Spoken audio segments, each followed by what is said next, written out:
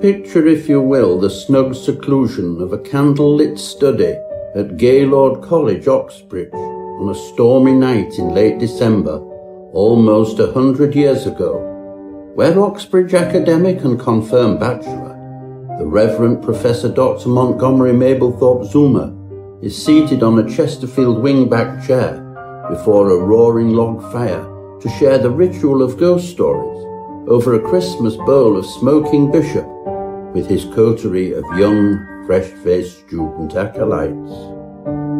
Setting aside his cup of steaming punch, he opens the dusty tome that rests upon his knees and begins to read in a mellifluous voice. The Fall of the House of Hardwick by J. R. Dullard. A Victorian ghost story of sorts in the oral tradition, as read by Sir Christopher Lurch.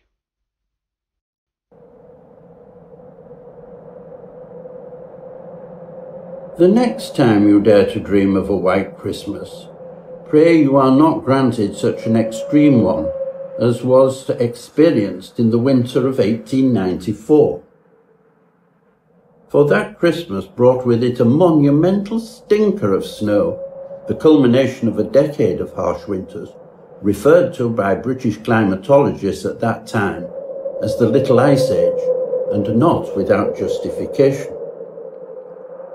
It was to be the last of the wicked winters of the 19th century. Southwesterly winds dominated the first three weeks of December, but it was not until the last 10 days or so, when the winds veered to the northwest, that the colder weather arrived, bringing first frost and ice, then snow showers, and finally the blizzard that was to rage on for days, blanketing the British Isles, including rural Norfolk, where our curious story takes place. The incumbent of Hardwick Hall was Sir Harrington Hardwick, the famed newspaper magnate, who had increased his family fortunes exponentially by championing the yellow press and promoting lurid stories featuring crime, corruption, sex, and innuendo. It had meant that the family coffers were replenished and money was now no object. He could indulge himself at will, and on this festive occasion, he had indulged his only daughter Beryl's whim and engaged those theatrical doyens, famed on two continents, Sir Robert Herod, and his widowed sister and legendary cohort, Lady Fanny Godiva, and brought them to their stately home to perform a Boxing Day production of their two-handed drawing-room comedy, Bob's Your Uncle, Fanny's Your Aunt, for the edification and entertainment of the family, staff, and local dignitaries alike. The pair, having fortunately arrived just as the first flakes of snow drifted down from the heavens, were now safely ensconced within its hallowed walls. The night before Christmas Eve found them in the front parlour, the esteemed company cut off from the outside world by the unremitting snowfall. Having retired after a sumptuous dinner, Actor manager Sir Bob Herod stood before the blazing log fire and regaled his sponsors with some of his choice theatrical anecdotes. Harrington Hardwick appeared highly amused as he puffed on an obscenely long Cuban cigar. His timid yet doting wife Clarissa, being somewhat distracted, leaned forward, crystal cup bowl in trembling hands, attentively trying to catch the ash before it fell to the carpet. Their only daughter Beryl was clearly entranced by the glittering company, her face aglow in rapt attention. Her fiancé, Percy Maycock, however, his broken leg elevated on a poof and encased in plaster as a result of a fall on black ice, was less than impressed. His face bore a pained expression which might have been explained by his ailment, but for the fact that in reality it reflected only his deep disapproval of thespian inclinations. Sir Bob reigned supreme before an otherwise captivated audience, recounting a particularly hilarious tale of having once had to share a bed with Sir Henry Irving and Bram Stoker whilst on a theatrical tour in the Alsace when, all of a sudden, he was rudely interrupted by a great gust of wind that hurtled down the chimney, forcing the flames to rise up and devour the Christmas fuel, and setting fire to the seat of his dress pants as they did so. It was only Sister Fanny's quick thinking that avoided disaster by dousing his ample posterior with a jug of mulled wine. As Sir Bob retired with flaming cheeks to recover his dignity, and, once the parlour-maid had mopped up the carpet, the rest of the assembled party found that they could finally get a word in edgeways. Fanny observed the portrait above the mantelpiece and remarked on the beauteous figure portrayed there. Harrington Hardwick plucked the cigar from between his teeth and wagged his head sadly. Poor Amber, he began my great-grandfather's eldest sister, and mad as a box of frogs by all accounts. Thwarted in love, you see. Always a delicate creature. It tipped her over the edge. How very grim, Fanny remarked. I'm sorry I asked. Then, after a pause, she really was rather lovely. Not really, Hardwick harummed. Appearances can be deceptive. He considered his cigar. Let's just say it is a rather flattering portrait. The artist taking certain liberties, I understand, at the behest of my great-great-grandfather. His eyes flickered momentarily towards his exceedingly plain, weak-chinned progeny. You will appreciate that a father will go to any length to nurture and protect his children. Percy winced though whether by pain or implication it was unclear. An uncomfortable silence ensued, and it seemed to Fanny that all previous sense of fun and conviviality had been sucked unceremoniously out of the room and up the chimney breast. It was in that subdued atmosphere that the company made their excuses and retired for the night. In her opulent guest bedchamber, Fanny later sat before her dressing table mirror, reflecting on her awkward faux pas as she slathered her face with a liberal application of restorative cold cream. She brushed her long golden tresses by candlelight, counting out the obligatory 100 strokes she performed every night prior to her slumbers. However, she had barely achieved 69 before she was interrupted by the hollow sound of tapping in the chimney stack behind her. A solitary candle flickered. A shadow darted past the corner of her eye, and she scarcely had time to turn her head before finding herself confronted by a ghastly apparition at her shoulder, the face of which blurred into insignificance, so transfixed was she by its bulging green eyes, flecked with white veins like two hellish gooseberries on stalks. In horror, she immediately sprang to her feet and made a dash for the bedroom door, but found resting with the knob was to no avail, as it was resolutely held fast. Overwhelmed by mortal terror, Fanny fainted and fell like a collapsed concertina upon the plush Axminster shag pile. Awoken by the gong announcing breakfast, Fanny found to her amazement that the bedroom door was strangely ajar, and, after composing herself and hurriedly dressing, she made her way down to the breakfast buffet, still rattled by the events of the night before. Morning sunlight reflected off the winter panorama and ricocheted off the deep snowdrift that pressed halfway up against the three tall windows that stretched from the floor to the ceiling in the breakfast room dazzling the interior. Fanny took a seat at table with her back to them, and over a plate of kedgeree, she recounted the previous night's curious events to Hardwick matriarch Clarissa, the only other resident yet to rise. Clarissa set aside her bowl of prunes, placed the spoon down, and, as she listened intently, appeared to grow increasingly agitated before begging to be excused claiming she had to go up to the bell tower to polish the brass as a matter of urgency. But, Fanny observed, that did not explain her clutching a lace handkerchief to her flushed cheeks as she rushed out of the door. In solitude, Fanny contemplated the odd events, but Sir Bob, Harrington, Beryl, and Percy soon replaced Clarissa at table and distracted her. The conversation was somewhat strained, however, as Percy's ill temper appeared to have been exacerbated in also having had a disagreeable night due to his aching leg and his makeshift bed set up to accommodate his injury in the chill conservatory, and could not seem to contain his acid comments about the illegitimacy of the stage and the hysterics who make their living from it. Beryl finally snapped in the face of his ungallant behaviour, accused him of being a prig and a hypocrite. Apologizing to their guest, she stormed out tearfully. A red-faced Percy then rose with difficulty to his feet, with the aid of crutches, excused himself to hobble off and spend a farthing. Harrington Hardwick appeared oblivious to the unfolding drama and tucked into a plump spicy sausage with obscene enthusiasm. Young love, eh? he observed with a chuckle. Beryl, such a lovely name, Fanny observed. Named after the precious gemstone, I presume.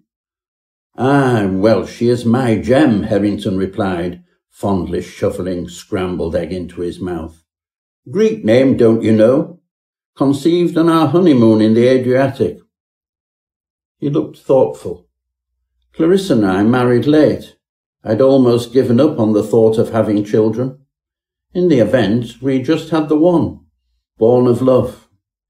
My Beryl, my precious jewel. The tender silence that followed was shattered abruptly by a hideous scream emanating from the water closet in the downstairs cloakroom.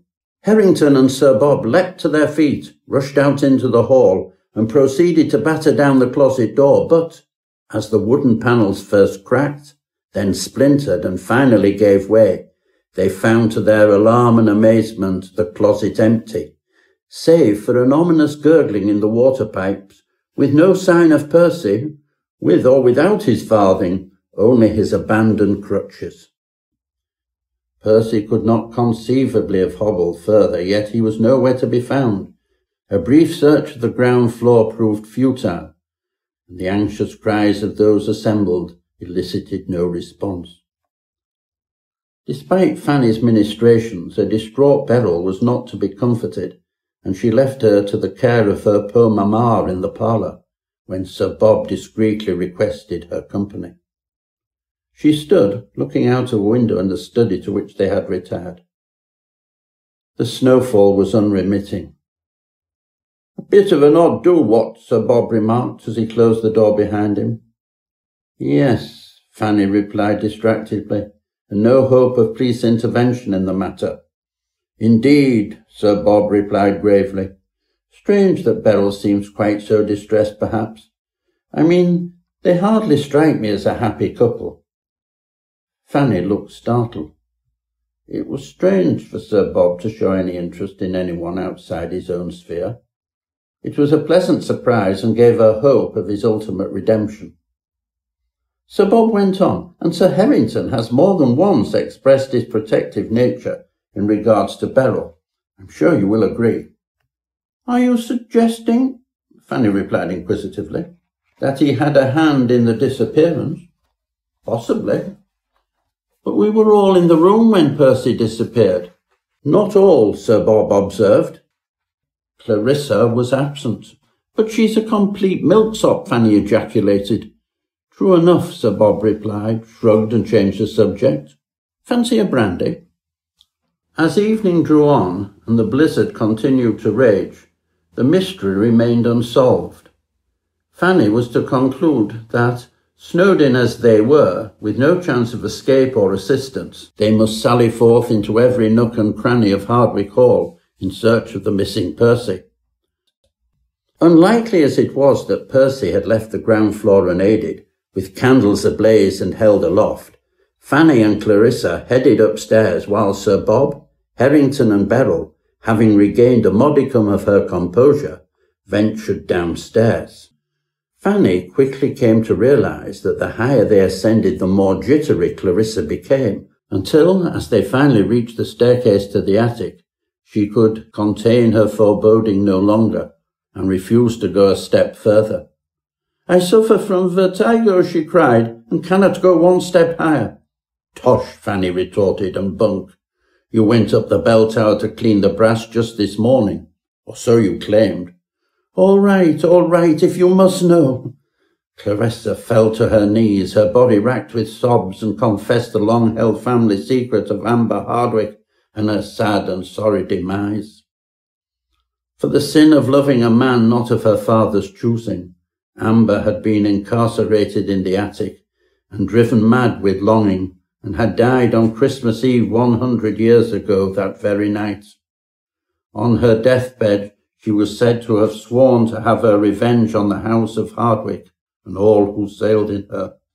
And the man she had so loved, the one who failed to rescue her, was none other than Percy Maycock's very own great-grandfather. From behind the attic door, the slow, rhythmic creaking of a rocking chair on bare floorboards squeaked unmistakably. Scurrying up the stairs and throwing wide the door, Fanny was met with a scene of such unmitigated horror she thought she might die on the spot. The full moon shone through the skylight, illuminating a wild-eyed Amber who was rocking to and fro, an unconscious Percy seated on her lap and clutched to her breast. Her visage resembled the oil painting, but as one whose varnish had cracked and crazed beyond restoration.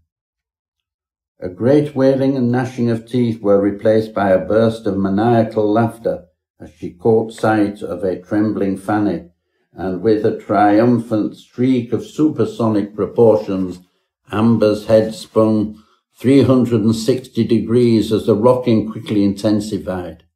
Faster and faster, back and forth, it seemed to shake the very foundations of Hardwick Hall. Fanny jumped back to avoid the crumbling chunks of plasterwork that crashed down from the ceiling, and the very walls themselves began to collapse around her ears, and she yelled until her lungs felt fit to burst. Having interrogated the servants to no avail, and explored the wine cellars at length, Harrington, Beryl, and Sir Bob now found themselves in the scullery, caught up in the maelstrom. Pots and pans flew hither and thither, as the Aga upended itself, killing the Christmas turkey without so much as a gobble. Finally, with a terrible cacophony of sound, the building imploded. Then silence ensued. The storm had broken. A light dusting of snowflakes drifted down from the heavens and fell upon the ruins of Hardwick Hall. Then slowly, very slowly, the survivors begin to emerge from the rubble and gather on the forecourt. Tiny Tom Scratchit, the pantry boy, pointed up to a bright shining star in the night sky. Core, he said, before raising his high-pitched timorous squeak to sing the opening line of the timeless Christmas carol, God rest ye, merry gentlemen, let nothing you dismay. Hesitatingly at first, the servants began to join in and emboldened a dishevelled Fanny linked arms with Sir Bob, Beryl, Harrington, and Clarissa as their voices swelled together, reaching a crescendo at O tidings of comfort and joy, comfort and joy, O tidings of comfort and joy. A single solitary brick hurtled down from the stars above, landing on poor Tom's head, knocking him unconscious. As Fanny and Bob darted forward to check on Tom's condition, Harrington slipped an arm round his wife's trembling shoulders and sought to comfort her. Never fear, dearest heart. We are fully insured. I'm not daft, he reassured her, drawing his daughter into a shared embrace, oblivious to the sinkhole that had opened underfoot and swallowed them whole.